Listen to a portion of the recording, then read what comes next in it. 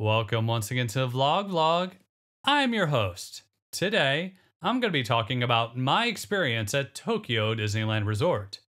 We stayed three nights at the Tokyo Disneyland Hotel and visited both Tokyo Disneyland and Disney Sea. I had an incredible experience, and Tokyo made World look like Six Flags Orlando. In fairness, Orlando may have the better roller coasters, and Anaheim may have the better fights, but in terms of cleanliness, food quality, value, and overall experience, Tokyo is on an entirely different level. Who knew that the best Disney exec works for a Japanese railroad company? I'll do my best to keep the comparisons at a minimum, and I knew it's gotten bad, but I didn't realize how bad until I went to Tokyo. I also want to apologize in advance if I run out of B roll. This review was secondary to our main vacation, and I planned on doing a 5 minute video that I planned on releasing about 5 months ago. So, um, now that we got that out of the way, let's talk about why Americans might not want to visit Tokyo Disneyland. The number one reason is pretty obvious it's in Japan. Japan is awesome, but it's not the easiest place to get to, and intercontinental flights are expensive and they're very, very long. I went so crazy on the 15 hour flight home, which was over 24 hours if you count all of my connecting flights, that I watched some 5 hour DSP interview after my flights kept getting delayed, and one more delay would have pushed me over the 30 hour mark. But they do have anime planes. Now, this should go without saying, but the people there speak Japanese and everything is written in Japanese, so it can make it hard to get around. But they do have some nice toilets, like everywhere. The Japanese toilet is the default in Japan.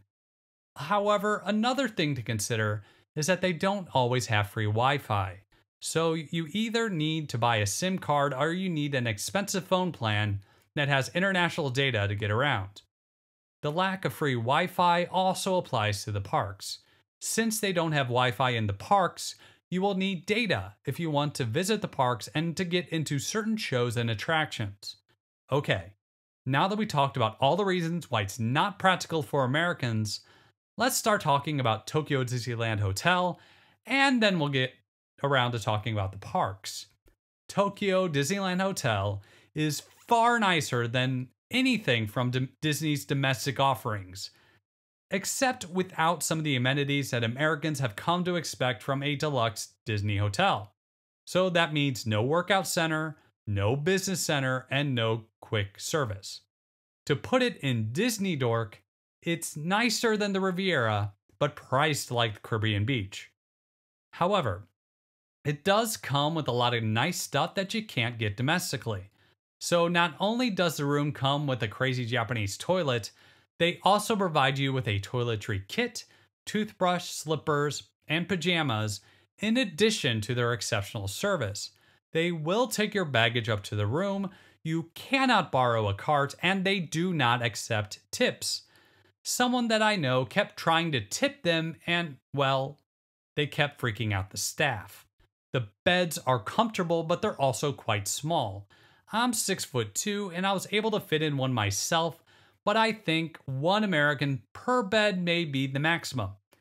Japanese sizes are quite a bit different than American sizes. Our room came with four beds, two normal beds, a trundle bed, and an alcove bed. The hotel has a gift shop, a grocery store, an upscale restaurant, and a buffet restaurant. There's also some rooms that can be rented out for weddings. The gift shop has some exclusive things that you can only get there, including a bag that you can only buy if you're a guest staying at that hotel. Each of the three deluxe hotels have their own exclusive bag, so collecting them all can be quite expensive. I got one for my niece, so that means she's better than you. We ate at the buffet restaurant for dinner. It had a mix of meats, Asian foods, and some really good resorts. Overall, it was awesome and it came out to 40 bucks, which isn't cheap, but is $22 less than what you'd get for a buffet at Orlando.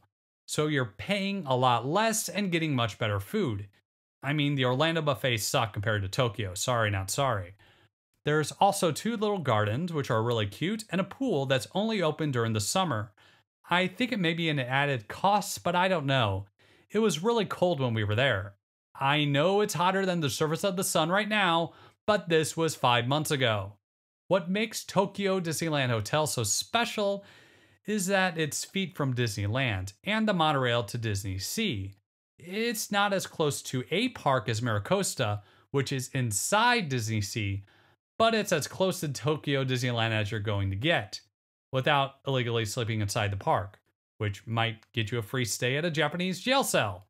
Well, there may be Japanese toilets there. I don't know. I paid to get at the to stay at the Disneyland Hotel. Please don't commit crimes. Uh, overall, I really enjoyed my stay at the Tokyo Disneyland Hotel. I'd love to stay there again one day, but next time maybe we'll check out Miracosta, which is more expensive and sells out really, really fast. On our first park day, we were very jet lagged, but that didn't stop us. Or at least it didn't stop me.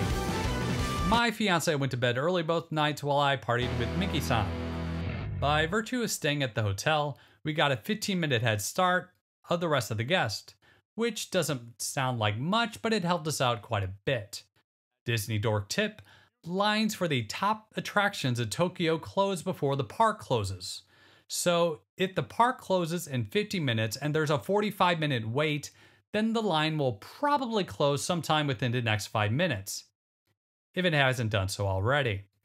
Also, I paid for the priority pass for everything that I could. It's an extra $15 to skip the line, the flight was 15 hours. I'll pay. I'll pay for both of us. You can only do this once per day per ride. Uh, for the Disney parks enthusiasts, Tokyo Disneyland is both familiar and foreign. They have a lot of similar attractions, but often with a Japanese twist. Like they have a tiki room, except it stars Stitch and there's no tiki room song, which sounds blasphemous to Americans, but it somehow works. I had no idea what they were singing, but the kids there were having a great time. When it comes to face characters, I was kind of expecting Japanese actors, but they opted for Americans. Who couldn't really communicate with the kids, but the children's smiles are pretty universal. What's so impressive about Tokyo Disneyland is how clean the park is when you compare it to Orlando and Anaheim. Tokyo is celebrating its 40, 40th year in 2023, but it looks like the place just opened yesterday. The attractions are all meticulously maintained, and I can't empathize, empathize that enough. While the Orlando version of It's a Small World has had some visual mold on the boats, the Japanese version looks like the paint just dried. Perhaps the best example of how well maintained attractions are at Tokyo compared to Orlando is Splash Mountain which is older than Orlando's by one day. So the last time I was in Orlando, the animatronics were in disrepair and it looked quite dirty. Tokyo's version still looks immaculate. I was completely shocked by how good everything looked. It looked like the attraction just opened, and that's the same for pretty much everything at Tokyo. While we're talking attractions, they have the best Disney attraction that I've ever been on Enchanted Tale of Beauty and the Beast. It's hard for me to put into words how good it actually is. It's a trackless ride that retells the story of Beauty and the Beast. It may be less advanced than something like Rise of the Resistance, but it looks better. Everything works, and it feels Disney. It's everything that I've ever wanted out of a Disney attraction. It's perfect. It seems like the general rule for attractions at Tokyo is that everything is in Japanese, unless there is a particular attraction song. Then it might be in English. Maybe. One attraction in particular that's totally confusing for a Westerner is their version of Jungle Cruise. I had no idea what they were saying, but from what I could gather, they were playing it completely straight which I think was the original intent of the ride before they added all the puns in Orlando and Anaheim. Finally, let's talk about the food. So, this meal looks pretty good, right? It's at a sit down restaurant in Tokyo Disneyland, and we didn't need a reservation. Guess the price Remember, this is at a sit down restaurant at Tokyo Disneyland. It cost $15. $15. It was so good and it was less expensive than the quick service at Docking Bay 7. I just couldn't believe it. Overall, Tokyo Disneyland is absolutely incredible. The park is small, but it's filled with attractions instead of gift shops. We weren't able to see everything, but we still had a great time. Now let's talk Tokyo Disney Sea. To get to the park, we had to use a monorail, which instead of a decaying theme park ride is set up like a mode of public transportation. We were given a free day pass as part of our stay, but normally you'd have to buy a ticket. It's super cute with Mickeys everywhere. The park itself has a few different lands. To see some of the bigger shows, including fireworks, you have to request a ticket from the app. The big original attraction is Journey to the Center of the Earth, which is freaking awesome. Now, from a purely technological perspective, it uses the same ride vehicle as Test Track, but it does so in a totally different way. They use a series of animatronics and speed for a purely thrilling ride. It's really fun, and the ending animatronic is the most impressive one that I've ever seen at a Disney park. But let's talk animatronics for a second. So, Tokyo's animatronics are less advanced than some of their American counterparts, in that there's less points of articulation. But the focus on the animatronics is making them look good. There's less articulation points, but since there's less to go wrong, everything works.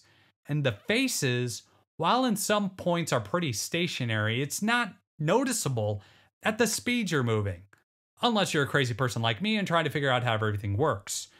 One attraction that completely shocked me was the Sinbad attraction. It was literally a walk on. I knew nothing about it and I expected it to be a fairly simple and uh, not very good. Instead, it had a story that I couldn't understand, an original song, and ridiculously huge animatronics. It was just so well made and a stylized attraction, and I had no idea that it even existed.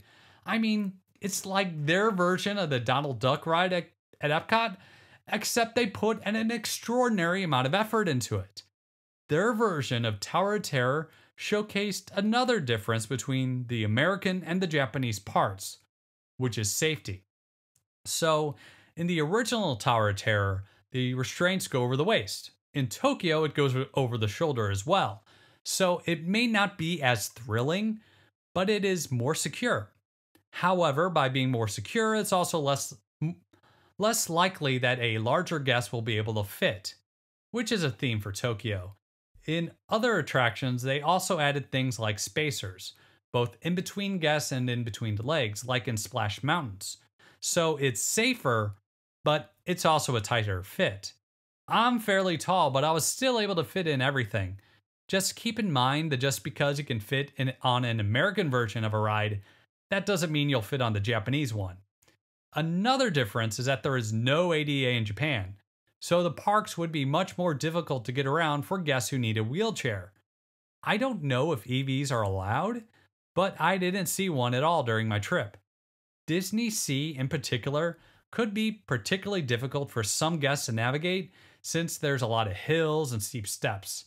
It wasn't a problem for us. I mean, I like running upstairs, but I think it's worth mentioning. For the kids, they have an indoor section that's based on The Little Mermaid. It has a few attractions, a food court, a musical show, and a gift shop. It's pretty cute for a little area, and there's a few attractions on the outside as well. The main entrance area of the park is where they do the fireworks and have a show. They weren't able to do the fireworks at all while I was there due, due to the high winds. Overall, I really enjoyed the attractions and the different islands. With an with the opening of a new port in the near future, Disney Sea is about to add even more cool stuff to an already solid lineup. I think it's going to be Frozen, Tangled, and Peter Pan. Uh, the food is also really good here too, and everything about this park is just so incredible. The only sort of negative thing that is that it's kind of hard for English speakers. The cast members have little cards to help, Again, you're in Japan, and we did our best to communicate, and it, it all turned out all right. While it's a little difficult to communicate with the cast members, They're the best that I've seen from Disney. They're all nice, their costumes are all meticulously maintained, and they have a professional professionalism about them that's been somewhat lost from their American counterparts. Overall, Disney Sea is really fun and a unique park experience. From the unique attractions to the Japanese spin on classics like Tower's Terror, which has a unique story that has nothing to do with the Twilight Zone. It's just a really cool park, and I feel very blessed to have been able to experience it. So, I'm a huge Walt Disney fan and a huge Disney Parks fan. I'm obsessed with the parks to the point that I made a 50 year commitment to them and bought into Disney Vacation Club. Everything that's wrong with the parks domestically simply does not exist in Tokyo Disneyland. Every frustration that I have with domestic leadership does not exist in Tokyo. If Josh really wants to know how to fix Disney World and Disneyland Anaheim, just look at Tokyo Disneyland and do that. You don't need the expensive Japanese toilets, but keep the parks clean. Maintain the rides, support your cast, serve food that tastes good, all at reasonable prices, and the families will return. I'm just so jealous of what they have in Tokyo. Toshio Kagami has created such a wonderful park that I think even Walt Disney himself would be jealous. It's just that good. I went into it wondering if Tokyo Disneyland was overrated, but that couldn't be further from the truth. If anything, it's underrated, and Josh D'Amaro and Bob Iger should be embarrassed. Disney Magic is not dead, it's alive and well in Japan. So, those are just my thoughts on Tokyo Disneyland Resort. I paid for everything out of pocket. We had to figure it out out on our own, and I did not receive any special benefits or discounts. This should also not be considered an endorsement of any of the aforementioned products. This is just based on my experience. I'm just an old guy just learning how to make videos on his Apple Macintosh, so there's no reason to take anything that I said seriously. He's not important! Thank you for watching, and I hope you have a wonderful day.